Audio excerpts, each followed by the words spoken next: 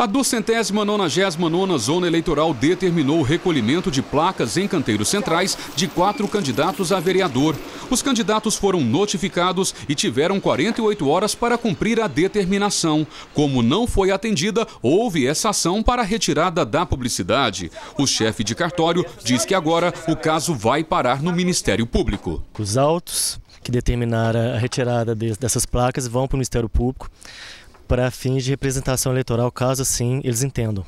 Esse trabalho foi feito em cumprimento a mandados de busca e apreensão. O recolhimento do material de campanha foi somente em bairros do setor norte de Uberlândia. Placas móveis em canteiros centrais e ornamentos em trevos estão proibidos em 14 bairros das regiões norte e leste da cidade. A publicidade foi recolhida na Avenida Cesário Crozara, no bairro Roosevelt, e chegou a encher o caminhão.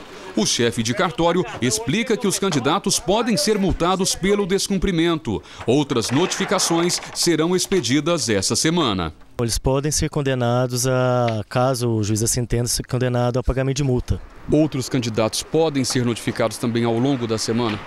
Então, já tenho notícia que vai, vai, ser um candidato, vai ser notificado hoje ainda. Provavelmente vão ter mais que vão ser notificados também. A determinação partiu do juiz Valner Barbosa, que interpreta que a lei eleitoral veda a colocação de placas em bens públicos. A colocação desses materiais pode ser feita de 6 da manhã às 10 da noite, mas não em jardins públicos. No entendimento do juiz, essas áreas são consideradas jardins e, por isso, proibiu a propaganda.